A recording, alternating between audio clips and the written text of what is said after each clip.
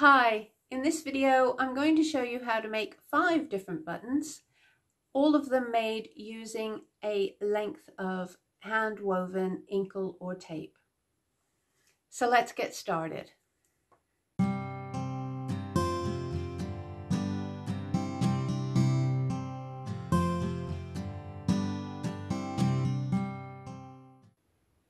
The simplest button that you can make um, using a piece of inkle is of course tying a knot and making a little ball button. It's a good idea when you tie your knot take your overhand knot trying to keep everything flat.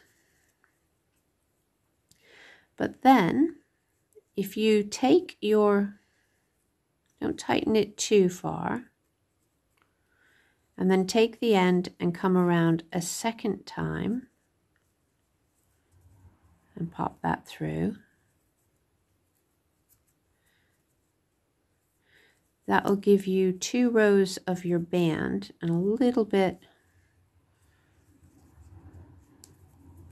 as you tighten it up.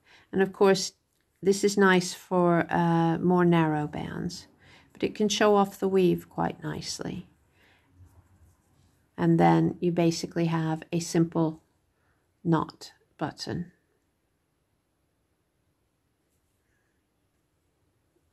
A toggle button is another really nice button to make with um, an inkle and it's really quite easy. So use um, a stick, a pencil, anything really, just something that you can wrap around. So you're going to start, hold the end here, come around. So you need to sort of hold the pencil and then we're going to come around and work back towards the hand. Okay. Three or four times is usually good.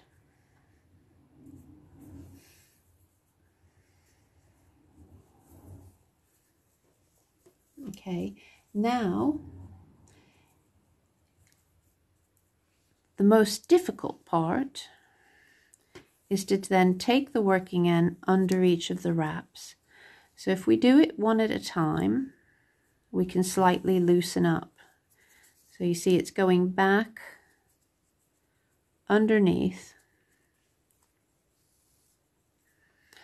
And of course you need to try to keep it flat when you're working with um, an inkle.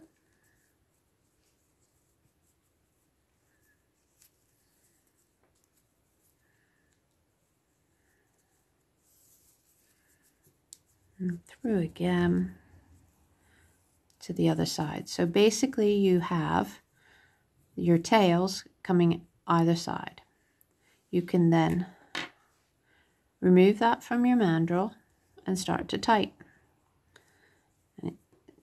So you need to sort of tighten almost at the same time, keeping everything lined up. And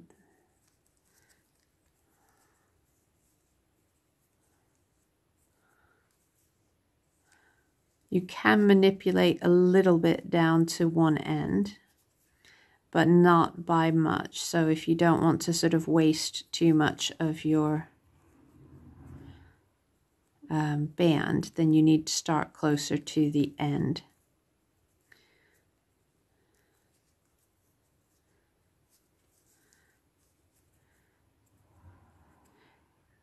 Take your time so that you keep everything nice and neat. But what you want to do is you want to form a nice, tight knot.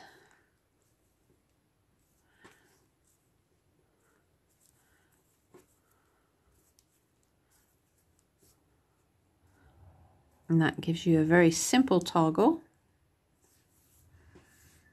You can cut the ends, um, use a little bit of glue if you like. You could just if you sort of do them at this point and glue them, you can loosen it up a little bit to take the ends back in. But usually if you glue as close as possible to the end um, with clear drying glue and then snip it off, you should be absolutely fine. And that is a nice one to show off again the weave of um, that you've created.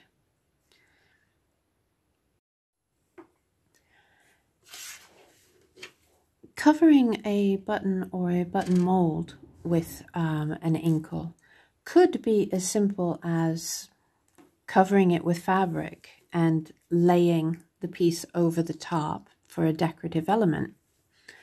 However, you could also make a bit of a fabric. To do this, you need to fold your um, inkle, line it up, and stitch it edge to edge, which I'm sure that many of you who make inkle bands have done for um, to make bags and purses. You can choose to just flip over, though of course if you have a definite right side, for instance with a thin tablet weave, you do need to turn it so that the right side faces all of the while. Make sure that you will have enough to cover your button and go around the edge um, for the tidiest effect. So for this particular size, I think I'll need to do it three times. And you need to be able to go over the top as well, of course. So I'm just going to stitch through. Let's see. Sometimes you just feel that there's a front and a back, don't you, when you weave? I know that sometimes there is if you're tablet using a, a fine tablet weave. But sometimes even with a straightforward inkle, you feel that there's a, a definite front and back.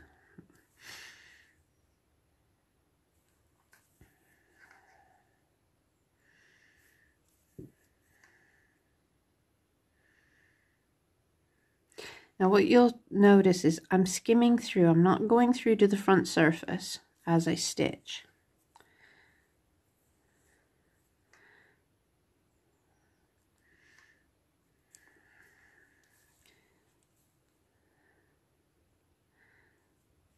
And really a smart person would have started at the other end and so on, but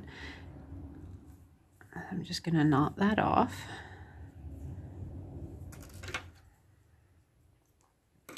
You see, if I'd have worked that this way, it may have been easier to go back.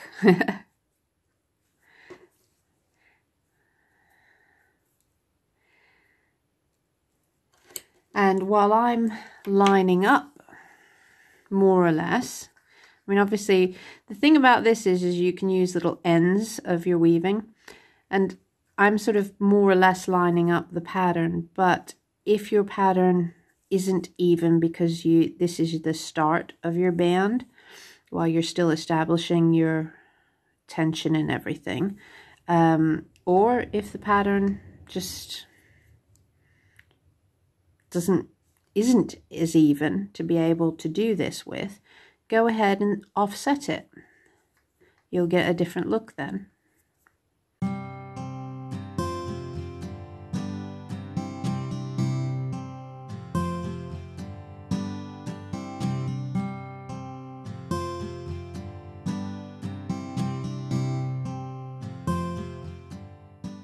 So there is my front. I've just come through a little bit on the side there with my stitches but that thankfully won't matter when I go and cover.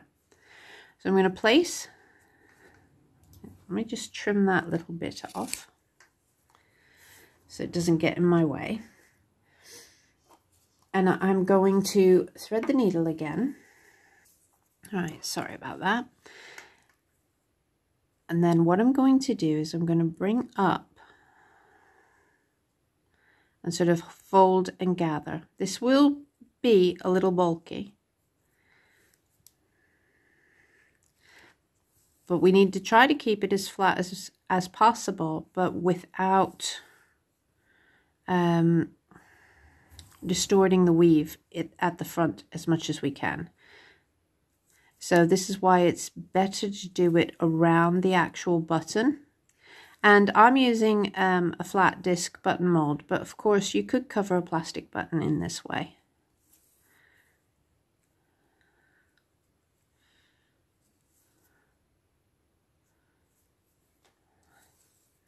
So I'm just working a running stitch to bring it around and I'm not pulling too tight yet. Normally if you're working a, um, a fabric covered button you would pull quite tightly but I want to be able to see what's happening at the front and as at the moment and I know I'm going to have all this excess to pull up anyways. But at the moment the thing is is to just get it more or less secured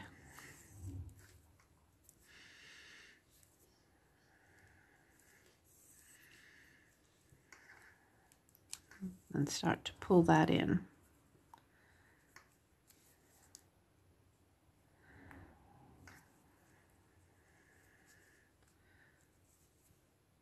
And now I can take it around that edge, pull that up a bit.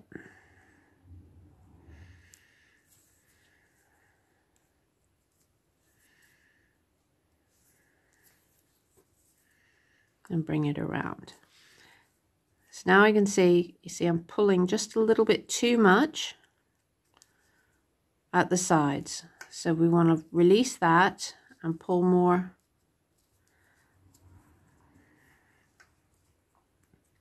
release that tension a little bit at the sides and just go more on the up and down.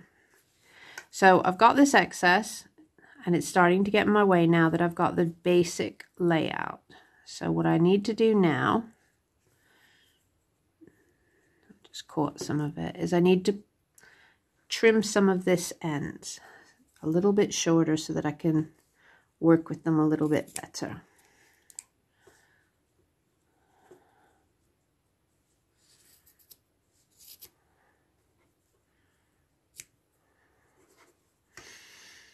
And this is where it starts to feel quite scary because you think, I've just cut into my band. That's why you use all of the end bits first. Trim off some of that excess and get some of that bulk down.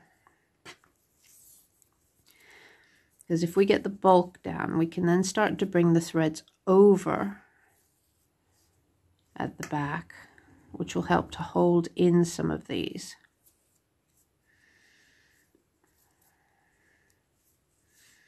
And cover them up little bit of excess here. I think I'll fold that across instead of cutting it and fold that across.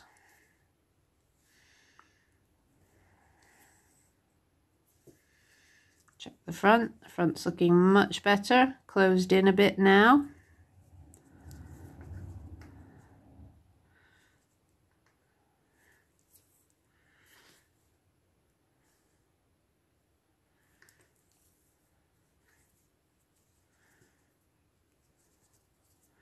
If you see that something is separating like here, it's probably because you haven't got enough stitching there.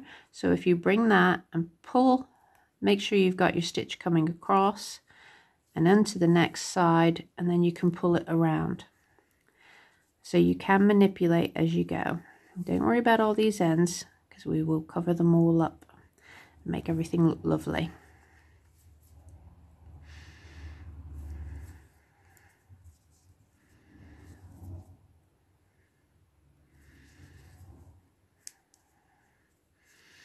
Okay, so that is pretty much there. Don't worry about this side here.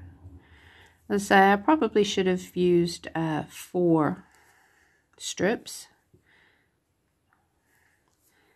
And as you can see, I'm just, I'm, I'm not worrying about my stitching at the back here because it will be covered up. All, all I want here is for everything to hold in place. Quite happy with that. Not too much spread. My stitches weren't super tiny, so I'm not worried that it's not absolutely perfect. So there we go. Basic covering. I'm going to use a contrast thread so that you'll be able to see what I'm doing with the next step. Okay, so I'm going to thread a tapestry needle you can use um, a crewel needle with perle cotton. you can use embroidery cotton. You could use some of whatever you've done your weaving with. As I say, I want a contrast so that you can see what I'm actually doing. And I'm going to fasten it into the back and come up at the side of the button. The first thing I'm going to do is I'm going to take the needle up to the edge of the button.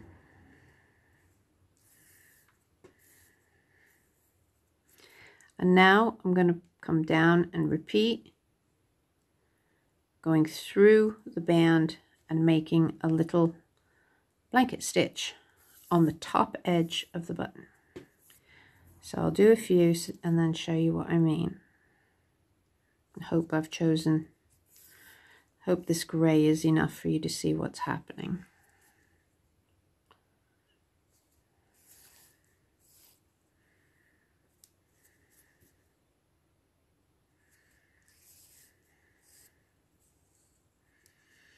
Okay, so it's forming a little edge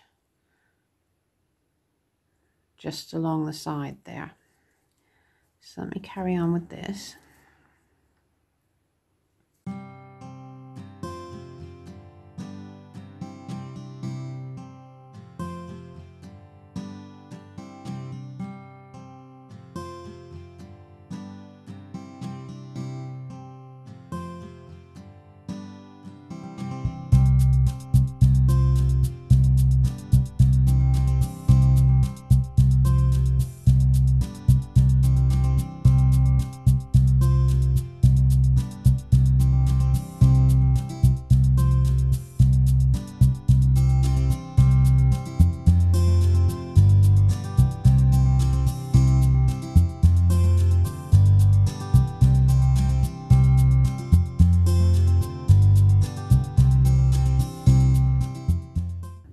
We are full circle.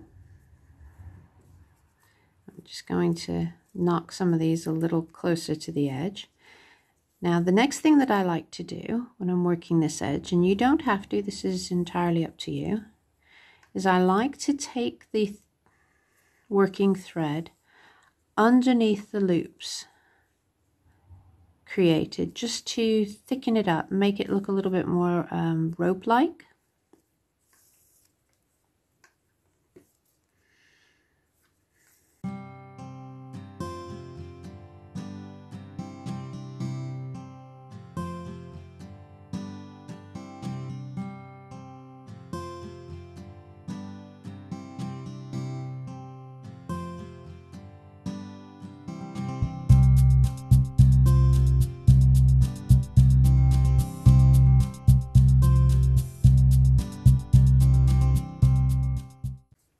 As you can see, that thickens up the edge quite nicely as well.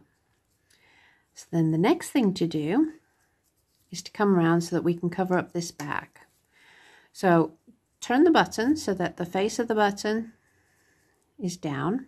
And now you're going to work blanket stitches through the ridge, but in the opposite direction.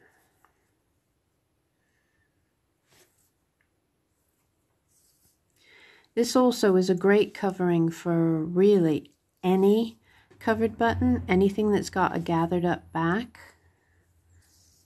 This will work really nicely.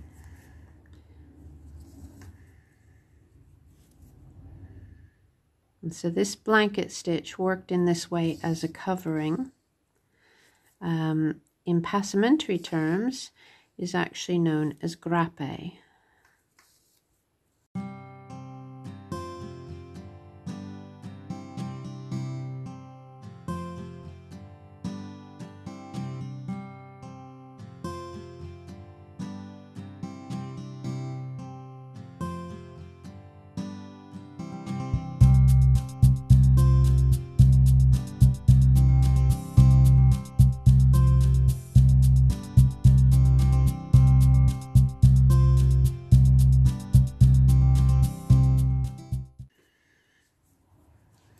And again full circle and so continue going round and round each time going into the stitch of the previous row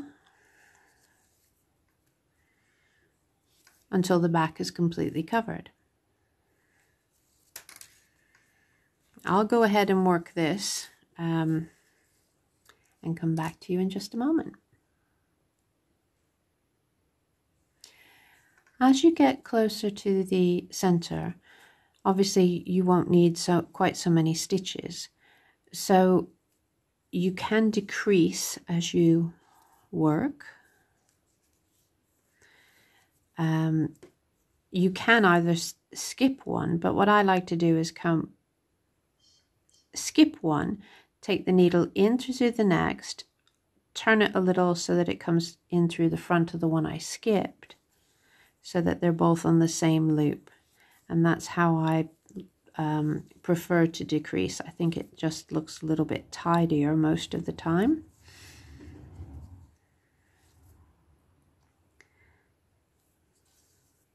You'll notice that I'm also pulling across the button. This is so that I don't get too much of a build-up and end up having to do all of these um, stitches that don't need doing.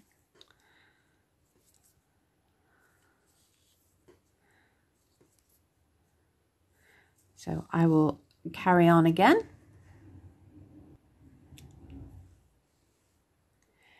And so there is a completely covered bag, so all of those bits are all encased. And um, yes, you can use that type of covering for the front of a button. It's um, a very common decoration actually. And there's the front of your button. This button uh, tends to work best with a slightly wider band, not least because it's easier to handle. Um, so start out um, I've glued the end, uh, just put a little bit of glue right on the end, just so that the threads don't get in my way. So you need to fold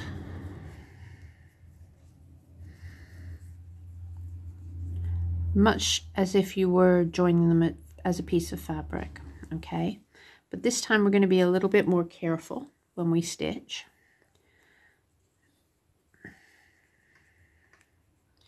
And I'm leaving excess um, just to make it easier. I don't think I need quite so much excess for you to see what's happening. Um, it's easier to trim away often than it is to try to tuck in. But if you've got a limited amount of braid, uh, you may wish to, to be a little bit more frugal in your stitching. So I'm going to start at the top and I'm going to stitch quite closely. And if your band does have a right and a wrong side, at the moment, the right side is on the inside. Just because I want to give um, more of an invisible seam. So again, I'm not going through right through to the other side of the band. I'm going in between the layers, um, so pretty much where the weft would pass through.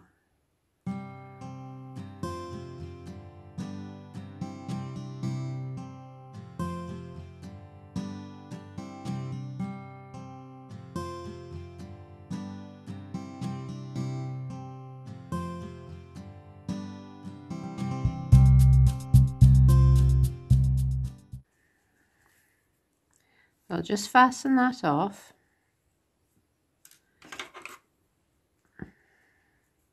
And trim that.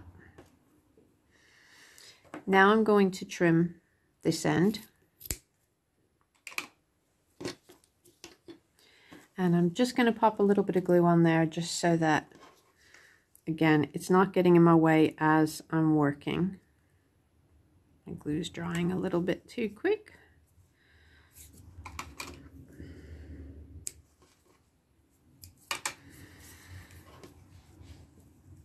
Now I'm going to turn this so that's the front of the button. Okay.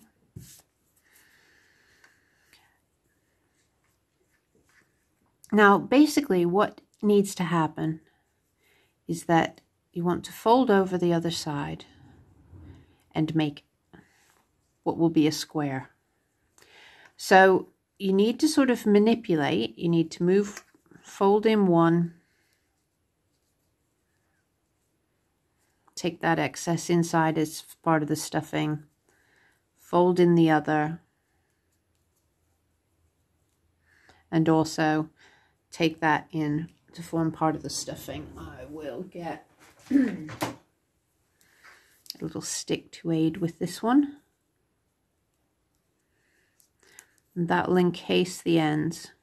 And if you need to trim a little bit more off, obviously go right ahead.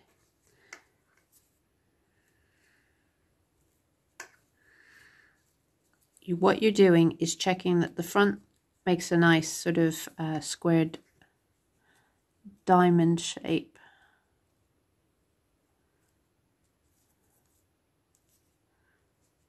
While that tucks in.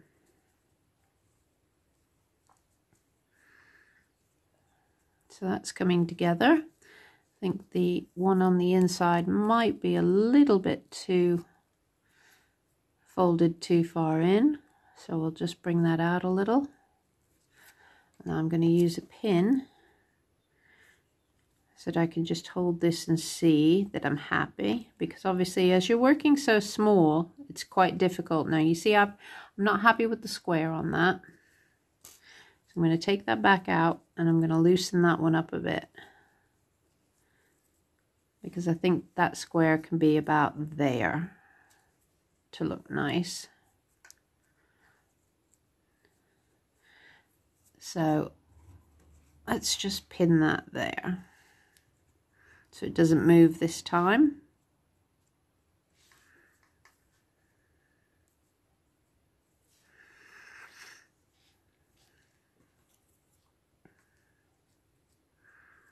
and then fold that back in on itself. And then this one wants to come forward as well.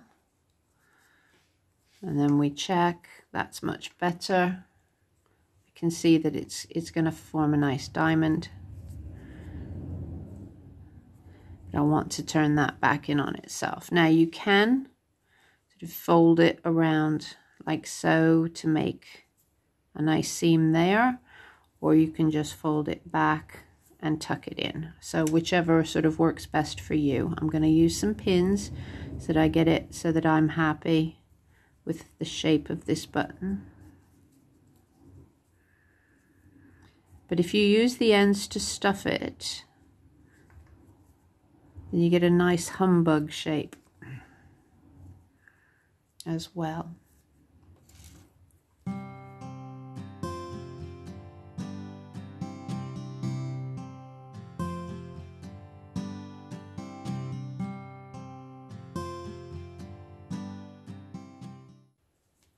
So it is a fiddly button to make but it is worth it. When you're stitching your sides, work them as invisibly as you possibly can along that top edge.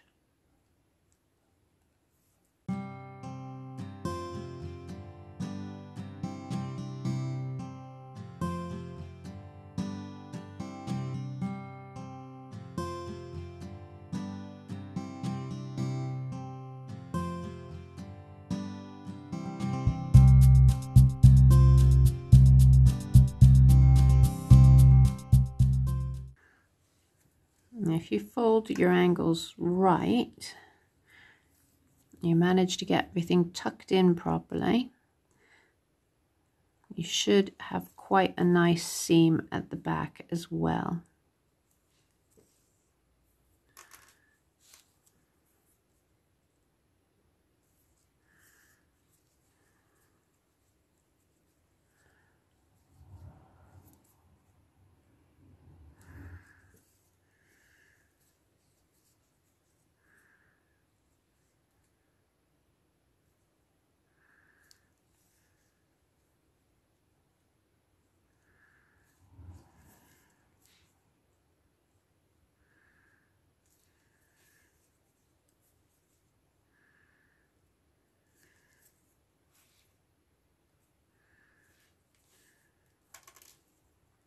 Now at that point, just before you finished sort of working the button, if you think that, oh, well, actually, it's a little bit too floppy, I could do with a bit of extra um, padding in there.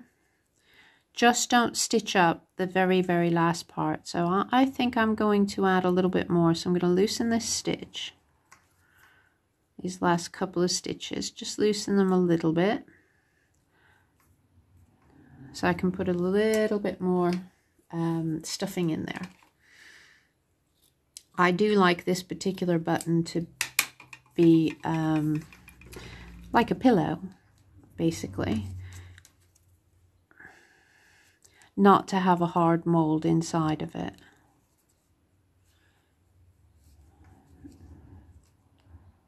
So I'm just using some scraps of fabric.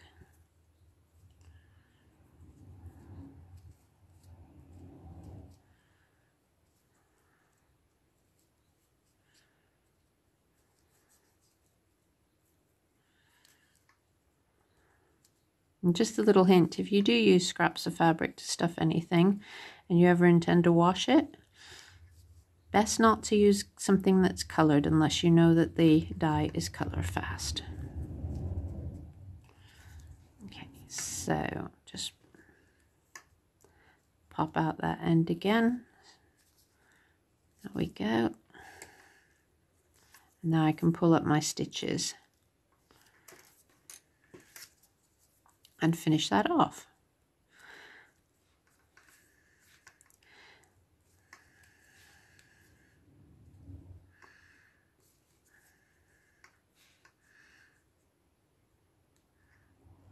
Do a little knot and then stitch right through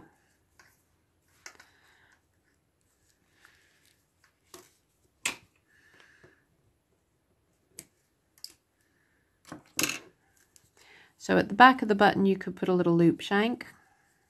And at the front of the button, just manipulate it a little to get your shape.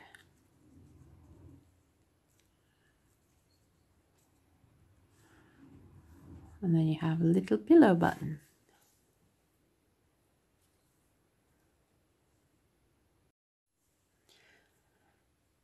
For this button, wool is probably the best choice for the center part.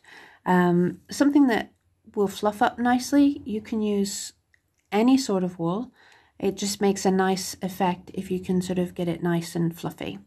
So this one's really easy. I'm using um, a tapestry wool, a fine tapestry wool. What you need to do is you need to decide sort of how big you want your button to be. I'm going to be using this uh, piece of inkle. So it's quite a thin piece. Now I can choose to make a small button and therefore just have um, a single width fit or you could double it up but I'm going to just stick with the single. So I'm just going to wrap around my fingers quite a few times. Just get my needle out of the way.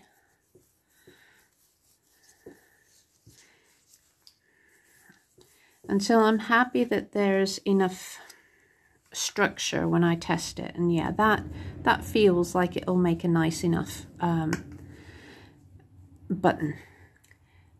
I'm going to trim off a little bit extra. And then I'm just going to wrap this around. I'm not worried about how this holds. It's just to give it a little bit of extra strength and just to hold that in like a little butterfly.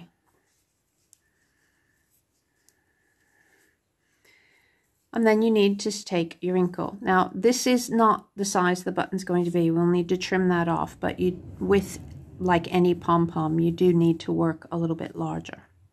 And then it really is as simple as let me just trim the end of this a little tidier because this is just a piece that's been floating around. And I'm going to place that along the middle. and I'm going to come over so that I cover that up but that that is still effectively at what is the bottom or the side edge of the button so I'm sure that that that will fit nicely. Now I'm going to get needle and thread. And I'm going to stitch this to the pom-pom or to the butterfly. It's not quite a pom-pom.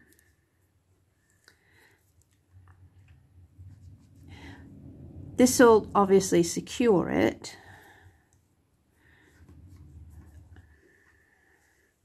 And help to keep all of the threads in place so you can sort of go quite deep into the pom-pom if you like as well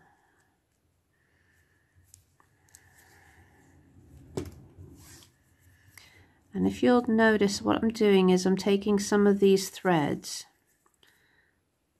on the um, woven band and just pulling them over so that they're sort of out of the way and stitching them in as well. That will stop anything sort of escaping um, visually and looking a bit weird out of the side or a bit scruffy.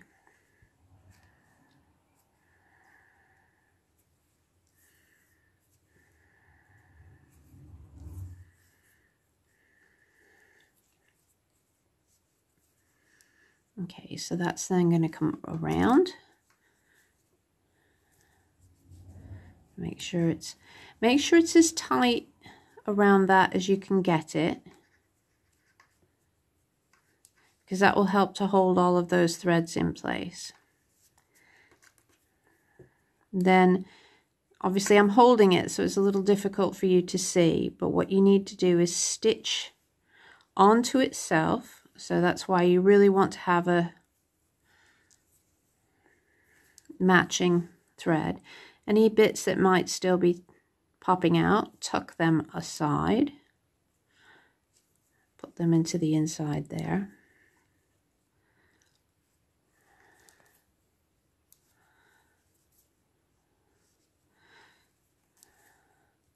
Now what I also like to do is a few stitches right the way through.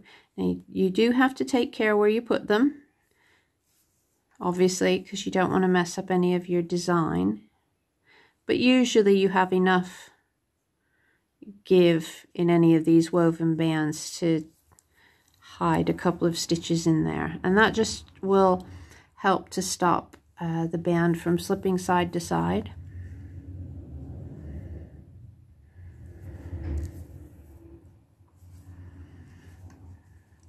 Now, at this juncture, you have two options. You can just fold it under, stitch it um, flat, and then stitch through the band to fix it onto your item. But because these are quite fun and I tend to use them for things like bags, I like making a little shank as well. So that means you need to sort of measure Say, okay, well, I want the shank to be about there, so I'll need to cut about there. At this point, it can be a good idea to pop a little bit of glue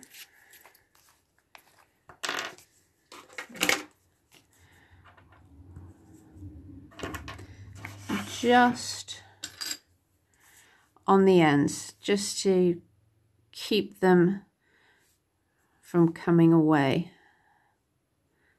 And ideally you should let this uh, dry, but I'm not going to.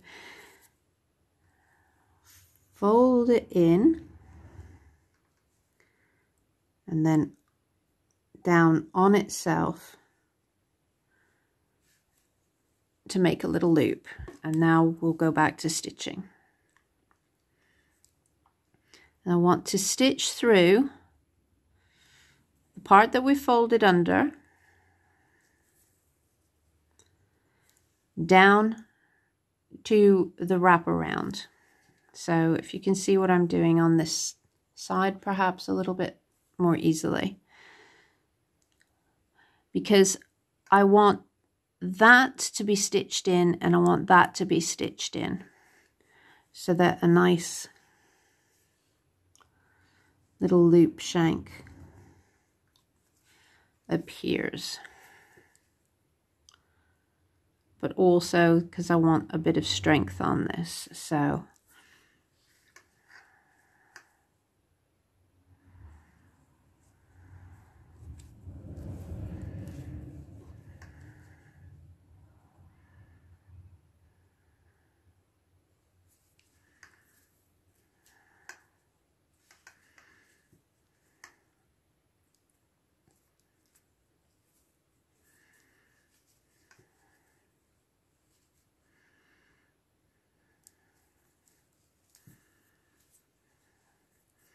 Now hopefully that little bit of glue will hold any of those ends. But you can also, if you are concerned, use a decorative thread going through the hole and around um, and bind this section. So if you were to go like this and take it through and then underneath and go around and around, you can also bind this area. So you can do something that looks really, really special. Um, just depends on what how you're actually making it and what the end use is for because a lot of times you won't see any of this anyways. I'm just going to knot this off then.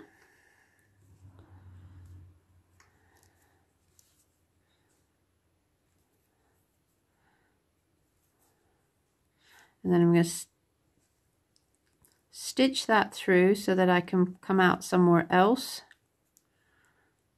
before I trim the thread off. And I'll keep that end inside. Pull it up a little bit tight and snip that. So there's the basic sort of butterfly. You could use it like that um, as a button. You just need to trim that bit off but I like it to be quite a pom-pom. So for that, you basically just need to trim. I go through the loops first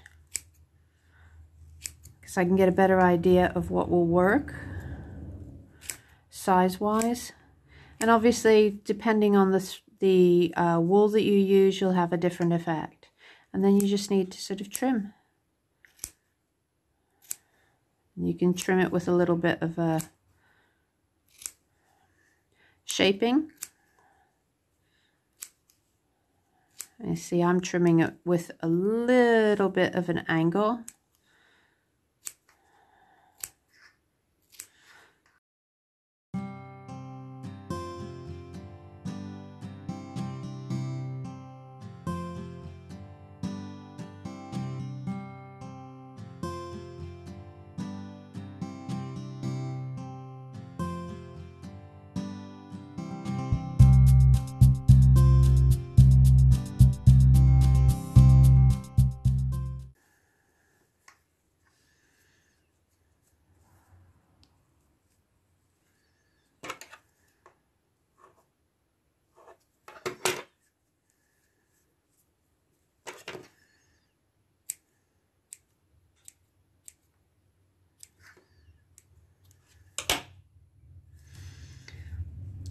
And there's one fluffy pom-pom toggle button.